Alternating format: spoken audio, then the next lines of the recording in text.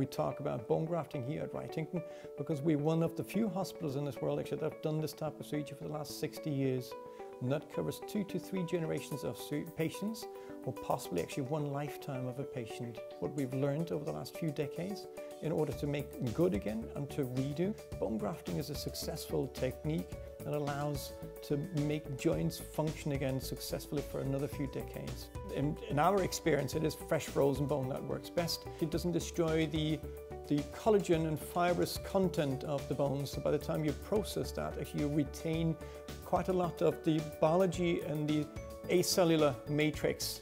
There's a fairly simple way where you can actually do it just with the the bone wrapped into a saw and it's something that you can learn in a morning session like we've demonstrated this morning. The principle of, of, of, taking bone off, you want to minimize the bone loss, but you want to maximize efficiency. Take small sections, cover the, the, the bone in swabs so I don't cut my finger or hit my finger.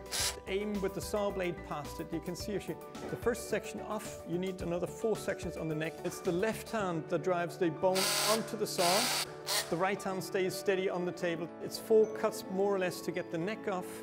It's almost a mushroom shape that you want to expose small sections around it. You can almost feel the spiculae now on that bone. It has the, the best cohesive qualities by the time it's nibbled. Now, for nibbling, develop a feel for bone. The softer bits of bone, you will break larger chunks off. The harder bit of bone, you will break smaller bits off. The washing of bone graft is important. That's best done once you have defrosted the bone and processed it in, in theatre directly. It allows two things. One, to understand the precision your own hands give you, but also the quality of the bone you're dealing with.